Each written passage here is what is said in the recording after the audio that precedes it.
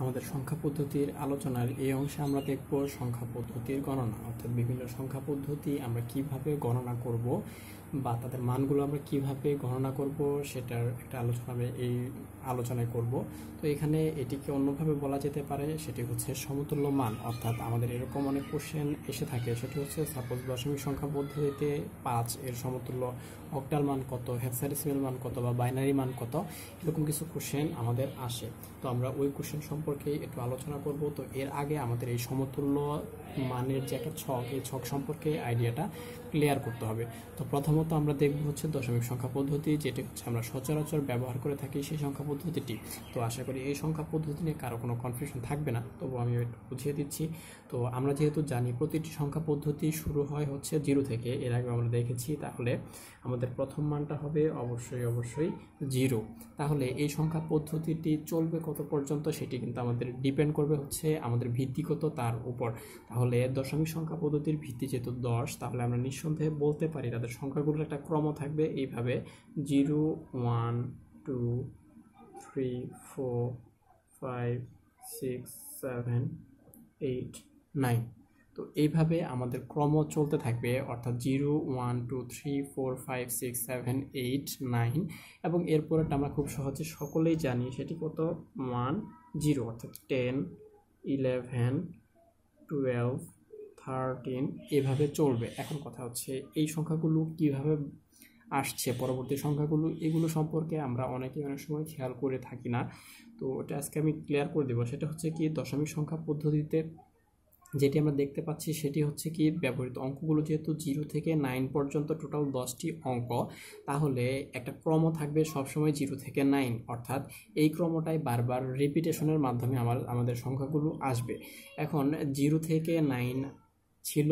এরপর যেটা আসতেছে আমাদের টেন থেকে নাইনটিন টেন থেকে তো এর পরবর্তী যে সংখ্যাগুলো আছে, এগুলোতেও কিন্তু আমরা দেখতে পাচ্ছি এই অংশটাকে যদি খেয়াল করি, তাহলে কিন্তু আমাদের পরবর্তী সংখ্যাগুলোর ক্ষেত্রেও zero one two three four five six seven eight এবং নাইন হচ্ছে। অর্থাৎ আমাদের এই রিপিটেশনটাই কিন্তু চলতেছে, অর্থাৎ জিরো থেকে নাইন পর্যন্ত যে রিপিটেশনটা সেটি কিন্তু আমাদের চলবে। এখন কথা হচ্ছে তাহলে সামনের অঙ্কগুলো কেন পরিবর্তন হচ্ছে? আচ্ছা তাহলে আমরা যদি একটু খেয়াল করি, তাহলে আমরা দেখতে পাচ্ছি এখানে দশমিক সংখ্যা পদ্ধতির ক্ষেত্রে আমরা যদি সংখ্যাগুলোর বামে একটি করে শূন্য ব্যবহার করি, তাহলে আশা করি মানের আমাদের কোনো পরিবর্তন হবে না, এটি আমরা সবাই জানি। তাহলে এই ক্ষেত্রে আমরা দেখতে পাচ্ছি, প্রথম দশটি যে অঙ্ক ছিল জিরো থেকে নাইন, এই দশটি অঙ্কের সামনের যে অঙ্কগুলো ছিল সেগুলো কিন্তু সবগুলোই জিরো ছিল। তাহলে আমরা একটু খেয়াল করি যে প্রথম দশটি অঙ্ক, অর্থাৎ জিরো থেকে নাইন, এ দশটি অঙ্কের সামনের যে অঙ্কগুলো ছিল সেগুলো ছিল হচ্ছে এই রিপিটেশনের প্রথম যে ইউনিটটা ছিল, অর্থাৎ একটা জিরো ছিল, এই জিরো অর্থাৎ এই জিরোই আমাদের প্রথম অঙ্কগুলোর সামনে গিয়ে বসছে। দেন এর পরবর্তীটার ক্ষেত্রে যদি আমরা খেয়াল করি, দশ থেকে উনিশ পর্যন্ত যে সংখ্যাগুলো আছে, এই সংখ্যাগুলোর কিন্তু প্রথম সবগুলোই কত? ওয়ান অর্থাৎ এখন যদি আমরা একটু খেয়াল করি, আমাদের দ্বিতীয় যে সংখ্যাটা ছিল, সেটা ছিল হচ্ছে জিরো ওয়ান অর্থাৎ আমাদের যে রিপিটেশন অর্থাৎ জিরোর পর ওয়ান তাহলে এখন পরবর্তী সংখ্যাগুলোর সামনে গিয়ে বসবে হচ্ছে কত? ওয়ান করে বসবে। অর্থাৎ one zero one one one two one three এভাবে চলবে হচ্ছে দশটি সংখ্যা, অর্থাৎ ওয়ান নাইন পর্যন্ত। তাহলে পরবর্তী যে ডিজিটটা সংখ্যাটা আমাদের আসবে, সেটি আসবে হচ্ছে টু জিরো অর্থাৎ আমাদের জিরো থেকে নাইন পর্যন্ত শেষ হওয়ার পর আবার আসবে জিরো এবং তার সামনের সংখ্যাটি চেঞ্জ হয়ে আসবে হচ্ছে ওয়ান চেঞ্জ হয়ে আসবে টু অর্থাৎ আমরা যদি একটু খেয়াল করি, তাহলে আমরা বলতে পারব আমাদের এই সংখ্যাটা চলবে এরকমভাবে জিরো থেকে নাইন পর্যন্ত দেন আসবে হচ্ছে ওয়ান জিরো এবং ওয়ান জিরো থেকে চলবে হচ্ছে ওয়ান নাইন পর্যন্ত দেন আসবে হচ্ছে টু জিরো এবং টু জিরো থেকে টু নাইন এভাবে থ্রি জিরো এভাবে আমাদের সংখ্যাটা চলবে। তো এই সংখ্যাটা হচ্ছে আমাদের দশমিক সংখ্যা পদ্ধতির ক্ষেত্রে প্রযোজ্য। তাহলে এই ক্ষেত্রে আমরা আরেকটা জিনিস যদি একটু খেয়াল করি, তাহলে কিন্তু আমরা দেখতে পাচ্ছি এই প্রত্যেকটা সংখ্যা কিন্তু আসছে কীভাবে সেটি হচ্ছে প্রথম সংখ্যার সাথে এক যোগ হয়ে পরবর্তী সংখ্যা এবং সেই সংখ্যার সাথে আবার এক যোগ হয়ে তার পরবর্তী সংখ্যার দিকে এগুচ্ছে।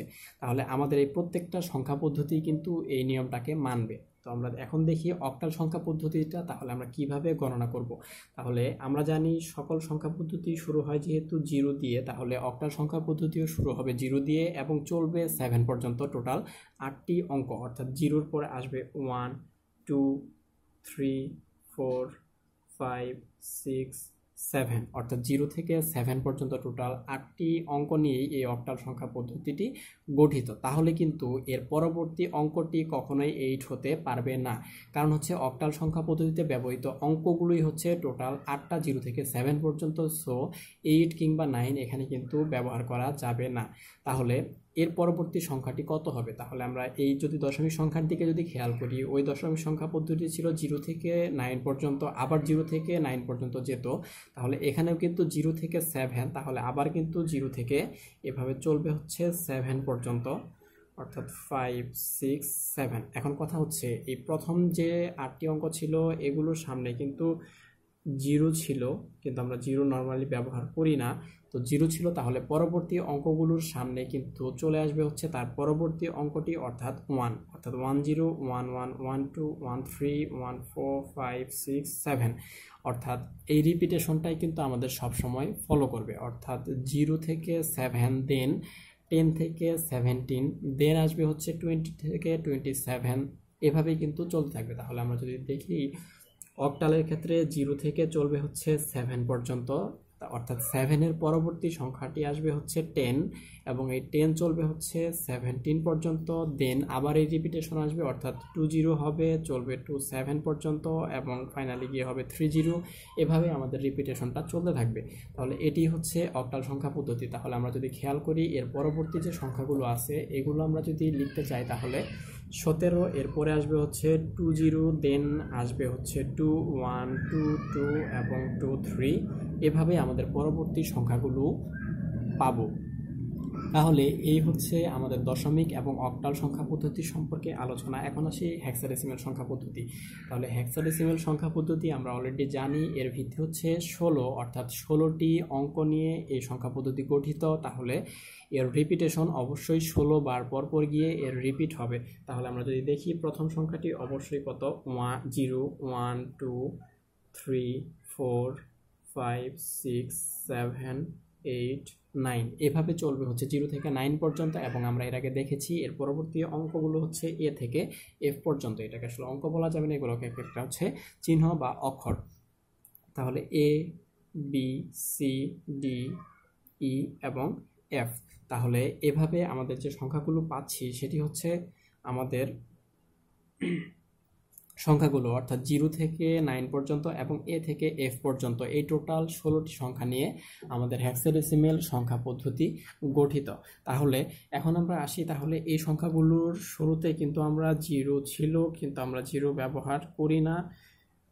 সো যেহেতু ষোলো ভিত্তিক সংখ্যা পদ্ধতি এটি, তাহলে এই সংখ্যা পদ্ধতিতে কিন্তু ষোলোটি অঙ্ক লেখার পর এটা আবার রিপিট হবে। তাহলে এর পরবর্তী অঙ্কটার ক্ষেত্রে, অর্থাৎ সংখ্যাটার ক্ষেত্রে আমরা যদি খেয়াল করি, তাহলে আমরা বলব যে এর পরবর্তীতে কিন্তু আবার শুরু হবে হচ্ছে জিরো থেকে। অর্থাৎ জিরো ওয়ান টু থ্রি এভাবে চলবে এফ পর্যন্ত। তাহলে তার আগের সংখ্যাগুলো ঠিক আগের নিয়মের মতোই আসবে হচ্ছে one zero one one one two one three এভাবে চলতে থাকবে। তাহলে এখানে কিন্তু আমরা খেয়াল করে দেখছি যে আমাদের সংখ্যাটা, অর্থাৎ ষোলোটা সংখ্যার পরে গিয়েও কিন্তু আমাদের সংখ্যাটা কত হয়ে যাচ্ছে? দশ হয়ে যাচ্ছে। সো এটা কনফিউজড হওয়ার কিছু নাই।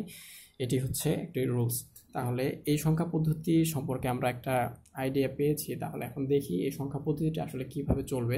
সেটি হচ্ছে, সংখ্যা পদ্ধতিটা জিরো থেকে এফ পর্যন্ত চলবে দেন আসবে হচ্ছে ওয়ান জিরো এভাবে চলবে হচ্ছে ওয়ান এফ পর্যন্ত। দেন আসবে হচ্ছে টু জিরো চলবে হচ্ছে টু এফ পর্যন্ত। এইভাবে আমাদের সংখ্যা পদ্ধতিগুলো চলতে থাকবে, এভাবে আমাদের মানগুলো বেরোতে থাকবে। তো এখন আসি হচ্ছে বাইনারি সংখ্যা পদ্ধতি। তো বাইনারি সংখ্যা পদ্ধতির ক্ষেত্রে সমতুল্য যে মানগুলো আছে, এই মানগুলোর ক্ষেত্রেও বাইনারি ক্ষেত্রেও কিন্তু আমরা জানি সংখ্যা পদ্ধতিগুলো আসে হচ্ছে জিরো এবং ওয়ানের মাধ্যমে। তাহলে বাইনারিতে প্রথম যে অঙ্কটি সে থাকবে হচ্ছে জিরো এবং পরবর্তী অঙ্কটি হবে হচ্ছে ওয়ান তাহলে জিরো ওয়ান জিরো ওয়ান এভাবে কিন্তু চলতে থাকবে রিপিটটা কিন্তু এর আগের সংখ্যাগুলো কি হবে সেটি আমাদের চেঞ্জ করতে হবে। তাহলে এই ক্ষেত্রে আমরা ছোট্ট একটি ফর্মুলা যদি মনে রাখি, তাহলে খুব সহজে এই সংখ্যা পদ্ধতির মানগুলো বের করে ফেলতে পারব। সেটি হচ্ছে, আমরা সবসময় ডান দিক থেকে ওয়ান টু ফোর এইট এই ক্রমান্বয়ে আমরা চলতে থাকব, অর্থাৎ দ্বিগুণ করে বাড়াতে থাকব। তাহলে প্রথম যেটা হবে, আমরা ওয়ান বলতে ধরে নিব যে, এখানের যে রিপিটটা হবে, সেটি হচ্ছে একবার করে রিপিট হবে। অর্থাৎ জিরো একবার আসবে, তারপর ওয়ান আসবে, আবার জিরো আসবে, আবার ওয়ান আসবে, এভাবে।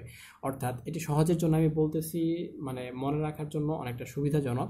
তাহলে জিরো ওয়ান এরপর আবার আমরা জিরো ওয়ান এভাবে লিখতে থাকব। আমাদের যতগুলো দরকার, আমরা এভাবে জিরো ওয়ান জিরো ওয়ান এভাবে রিপিটটা চালাতে থাকব। এরপরটা দেখতে পাচ্ছি হচ্ছে টু তাহলে অবশ্যই আমরা বুঝব যে এখানে দুইটা জিরো থাকবে, দুইটা ওয়ান দুইটা জিরো, দুইটা ওয়ান এভাবে এই ক্রমান্বয়ে চলতে থাকবে। তাহলে পরবর্তী মানগুলো, এখানে আসবে একটা জিরো, এখানে একটা জিরো, তাহলে দুইটা জিরো শেষ হয়ে গেল, তারপর দুইটা হবে ওয়ান আবার দুইটা জিরো, পরের দুইটা ওয়ান এভাবে আমাদের এই রিপিটটা কমপ্লিট করতে থাকব আমরা।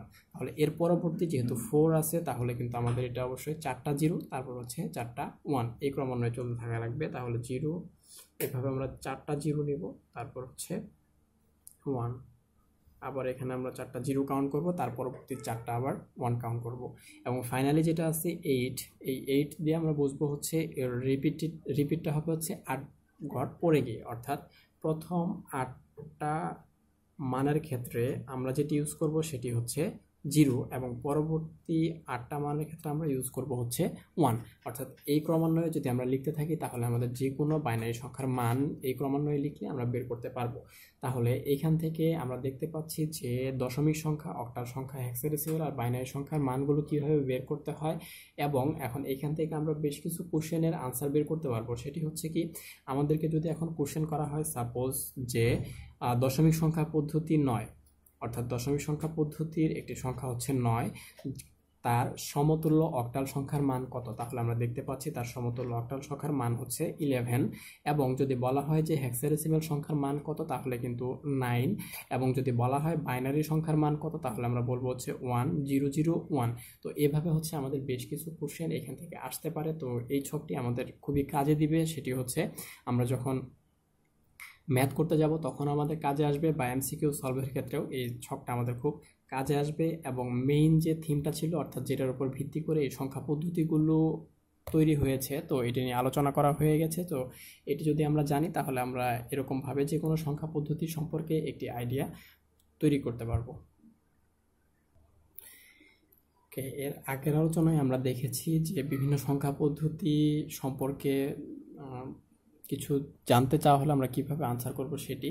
তো এখানে আমরা দেখেছি হচ্ছে বাইনারি অকটাল অক্টাল হেক্সাডেসিমেল আর ডেসিমেল সংখ্যা পদ্ধতি সম্পর্কে। তো এছাড়াও আরও কিছু কোশ্চেন এখান থেকে আসতে পারে তার ওই বেসিকগুলোর উপর থেকে। সেটা হতে পারে সাপোজ আমাকে বলতে পারে যে, তিন ভিত্তিক সংখ্যা পদ্ধতি বলতে কি বুঝো বা পাঁচ ভিত্তিক সংখ্যা পদ্ধতি বলতে কি বুঝো বুঝিয়ে লেখার জন্য। তাহলে ওই ক্ষেত্রে ঘাবড়ানোর কিছু নাই। এটা আসলে মেইনলি হচ্ছে যেহেতু আমাদের বলেই দিচ্ছে যে পাঁচ ভিত্তিক, তাহলে আমরা এখান থেকে স্পষ্ট একটা ধারণা পাচ্ছি যে এই সংখ্যা পদ্ধতির ভিত্তি হচ্ছে পাঁচ।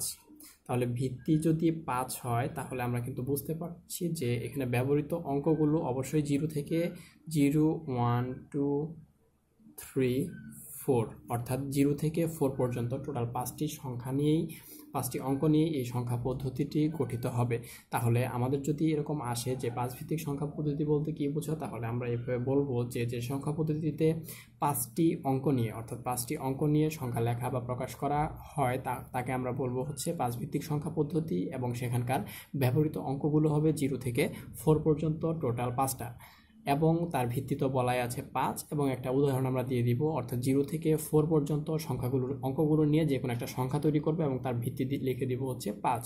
সাপোজ আমরা একটা অঙ্ক যদি লিখি টু থ্রি ফোর তাহলে আমরা এখানে লিখে দিব হচ্ছে ফাইভ তাহলে এটি হয়ে যাবে একটি পাঁচ ভিত্তিক সংখ্যা পদ্ধতির উদাহরণ। তো এভাবেই হচ্ছে আমরা পাঁচ ভিত্তিক বলে আমরা পাঁচটা নিব। যদি তিন ভিত্তিক বলা হয়, তিনটা সাত ভিত্তিক বলে সাতটা, অর্থাৎ আমাদের যে কোনো ধরনের কোশ্চেন যদি আসে এভাবে, তাহলে আমরা এভাবে একটা আনসার করে দিব।